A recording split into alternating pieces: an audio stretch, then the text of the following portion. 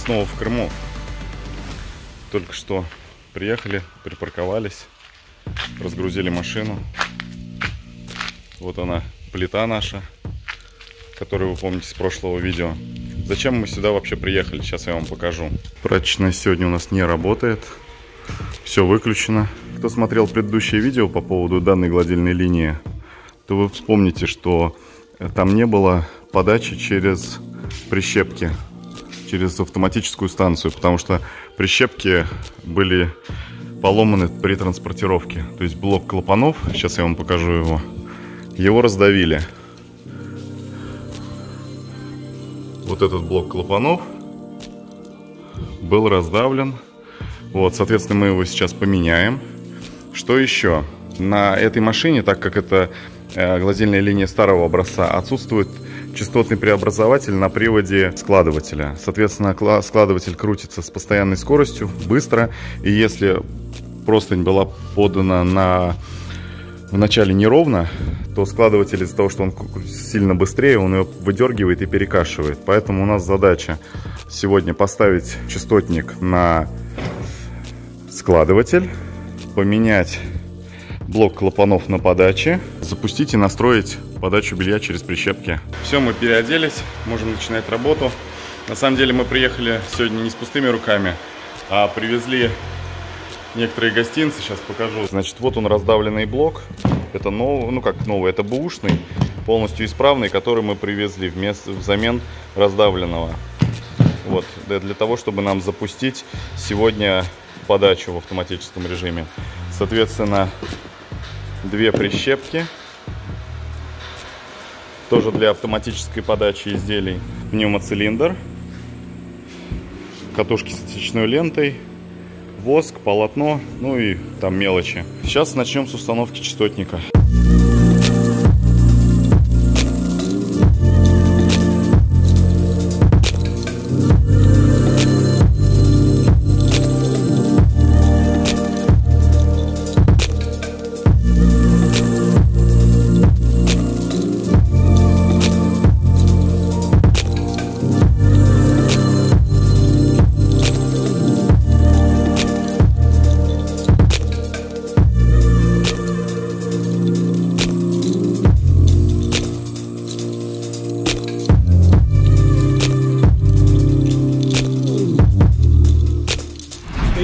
Забыл добавить, что мы не выключили питание, все это под напряжением подключаем. Ну, естественно. Как же без этого? Да, кстати, вот, пожалуйста, лампочки горят. Все под напругой. И используем не диэлектрические отвертки. Изначально частотник новый идет без контрол-бокса, поэтому для программирования используем контрол-бокс с подающей машины.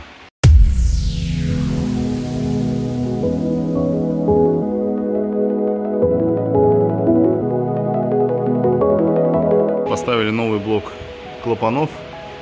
Штекера были все обломаны, поэтому соединили, посадили на термоусадку поверх штекера, чтобы ничего не вываливалось.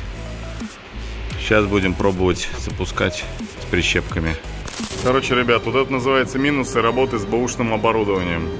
Приехали поставить частотник, начали запускать, выяснилось, что трансформатор выдает только 15 вольт вместо положенных 24. Соответственно, сначала никак не могли понять, почему работает машина некорректно. Сейчас при приходится разбирать, будем смотреть. Что удастся сделать? Что удастся, где чего отвалилось. Ну, это похоже по первичке, где-то одна фаза обмотка на одной фазе оборвана. Ну, сейчас будем смотреть. Вместо трех фактически трансформатор работает на двух.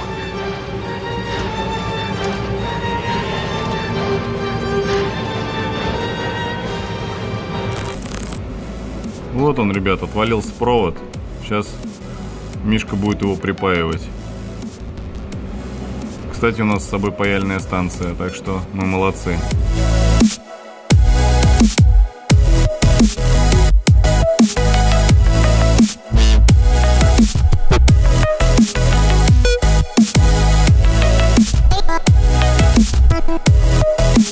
Красота. Причем утром, кстати, у нас было 27. Да, да, да. я Это тебе- сейчас стало 15 Я, почему-то. я тебе что и говорю, что, э, вот, что она отвалилась вот только-только. Потом вот доказывай, что не, не ты осел, да?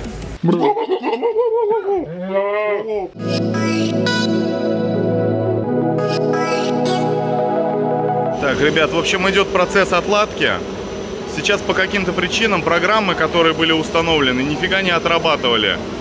А на заводских программах все работает. Поэтому сейчас заводскую программу будем адаптировать под наши нужды. Пошла первая простыня тестовая. Вот таким образом будет происходить подача. Сейчас будем отстраивать, чтобы все было побыстрее и более четко.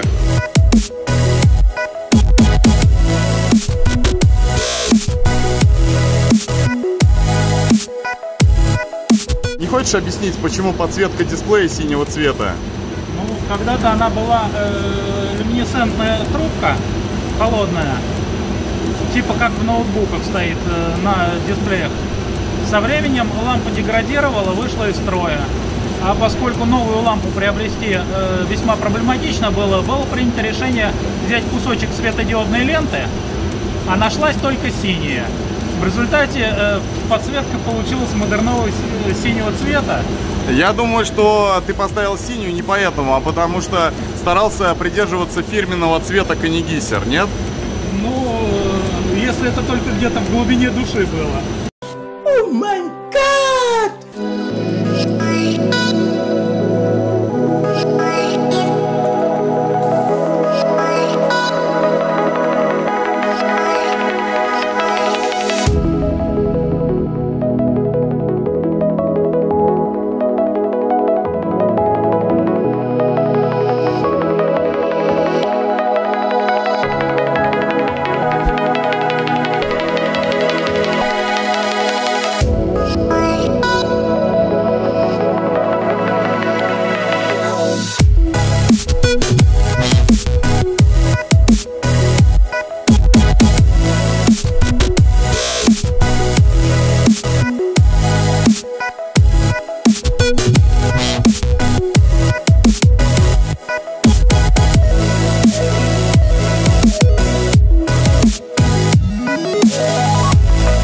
Ребят, после настройки через частотник по какой-то причине у нас ремни крутятся быстрее. Аж на 6 метров.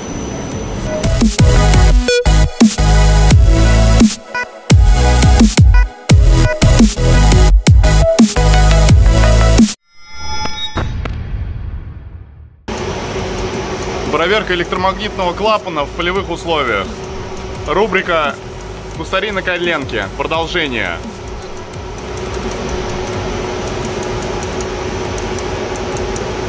У меня уже щеки болят. Мне очень нравится, между прочим. Ну что, работает? Ну, вроде бы, да.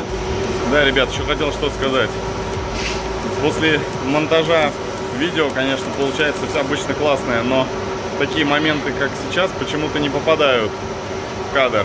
В цеху плюс 50 градусов. На катке я не знаю вообще сколько наверху. Очень жарко. За три дня похудел на 4 килограмма. Не так все гладко, как хотелось бы. И, кстати, до моря так еще и не дошли. Хотя здесь уже находимся третий день. Да, третий день. Море видели только из окна машины. Вот так обычно и бывает.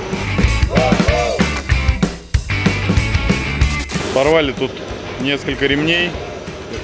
Но он- с собой была вот такая паялка для восстановления. Вот, решили восстановить. Вот первый ремень комом. Ребят, сейчас я вам покажу, что значит идеально настроенная подающая машина. Вот смотрите внимательно. Просто не, если успевает подать персонал, да, она кладет одна к одной. Без зазора.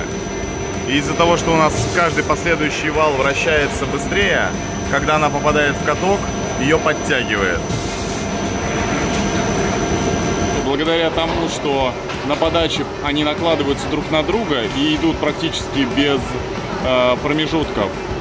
На выходе, несмотря на то, что каждый последующий вал крутится быстрее, расстояние между пододеяльниками не более полуметра. Вот это я считаю оптимальная производительность.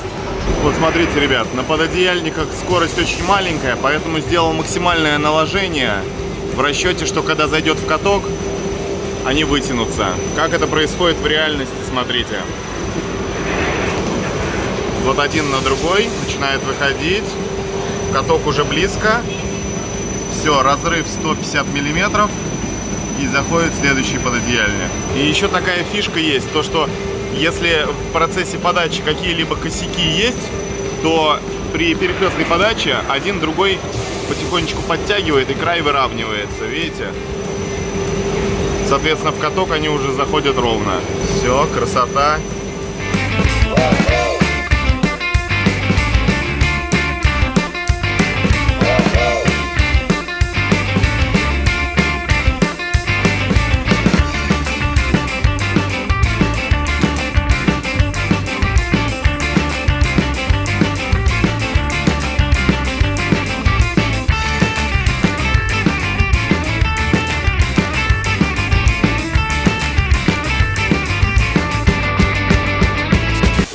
Сейчас пока ехали, тут разбирались с дроном, останавливались, пытались что-то подснять. А, Короче, какая-то фигня, на- начало скучать переднее правое колесо. Думаю, что за дела?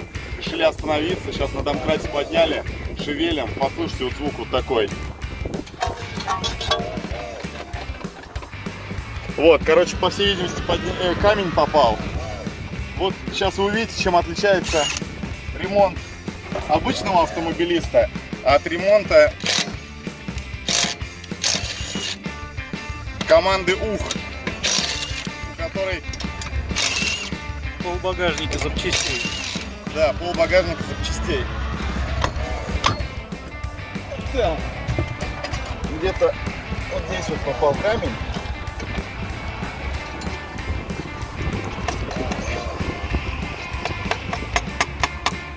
Сейчас мы его... Ага, все, я его вижу. Он попал спер- сверху. Вот он камешек.